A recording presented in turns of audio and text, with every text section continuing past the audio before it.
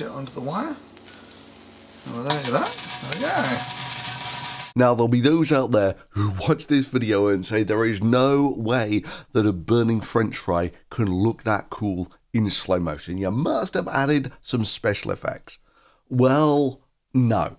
This is genuinely what a burning french fry looks like in slow motion. There are no special effects added to this whatsoever. So previously I showed you how a gummy bear, which is mostly sugar and water, burns very well in a pure oxygen environment, which is a lot more oxygen in it than our atmosphere, which is only about 20% oxygen.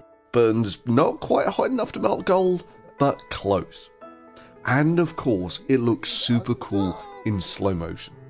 Now, the interesting thing is that by burning a gummy bear, that releases exactly the same amount of energy as you get out of eating one of these things.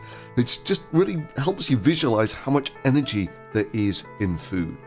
Well, this time it's the humble french fries turn. And I just gotta say, this is super cool watching the actual oil boil off a burning french fry. Okay, super. Now, to do is arm the ignition coil like that. Touch it onto the wire. Oh, there you go. There we go.